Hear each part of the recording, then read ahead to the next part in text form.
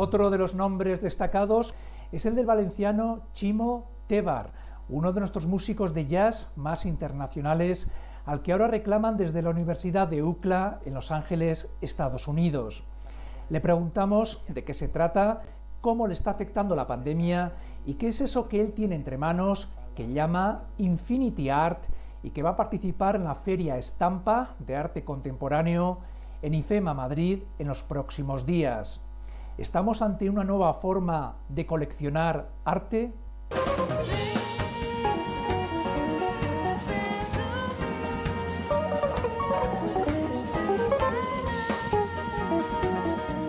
Lo que voy a hacer en, Estampa es eh, presentar y dar visibilidad a este proyecto que se llama Infinity Art,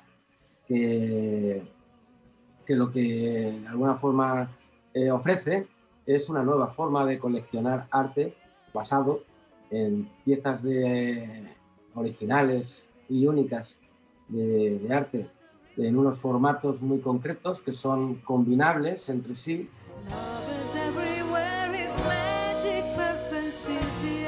Es que es interactiva, tú puedes en un momento dado eh, como si dijéramos modificar la forma de la pieza con los sistemas magnéticos, ¿lo ves? Y entonces, en este caso, por ejemplo, este pintor, Javier Calvo, lo que ha hecho es una, un primer plano sobre una geometría muy definida y eh, cuando tú sacas las piezas de, de, aquí, pues descubres una geometría, tú puedes en un momento dado modificar esa, esa composición de, original que ha hecho el, el pintor.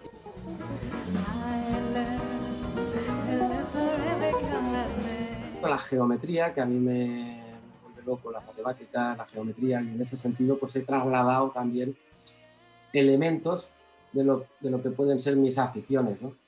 Y por otro lado también elementos que tienen que ver con la música, como por ejemplo lo que es la fragmentación. El, el hábito de consumo eh, desde estos últimos años, desde los últimos 20, 25 años ahora, con el tema de las plataformas digitales, el iTunes, Spotify, que permite eh, al usuario eh, comprar una canción o crear su propio playlist.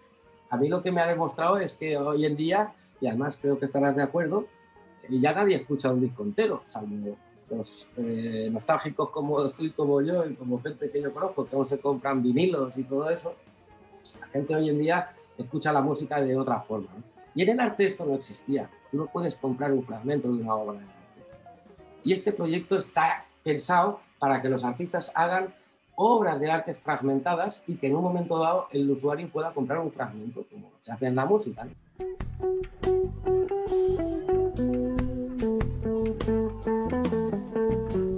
Desde hace ya eh, finales del año pasado eh, estoy, eh, formo parte del equipo de, de, docente de la Universidad de California, UCLA sido para mí una, una satisfacción tremenda, porque realmente tal y como están las cosas aquí eh, con el tema de la pandemia, e incluso antes de la pandemia, la situación de la cultura y, en el caso de las artes escénicas está bastante mal, pues la verdad que ha sido una satisfacción doble. Una por la posición y otra porque de alguna forma estar en un equipo docente donde el director es que Hancock. En ese sentido, pues ha sido para mí una cosa impresionante, pues verme así eh, de repente en ese, en ese, en ese club, ¿no?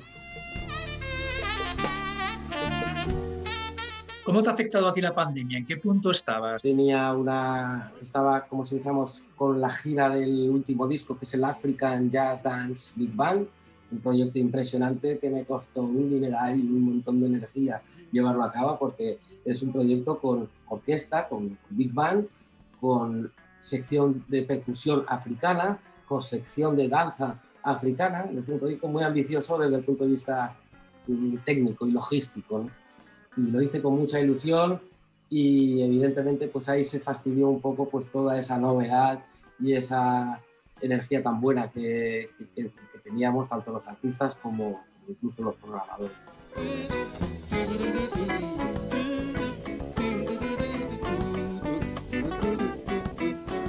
Y por otro lado, también estaba ya haciendo el otro disco, que lo tengo a mitad de grabación, que es un proyecto que continúa con esa, filosofía de, gran, de, gran, de gran producción, pero enfocado en la música brasileña, Brazilian Jazz Project.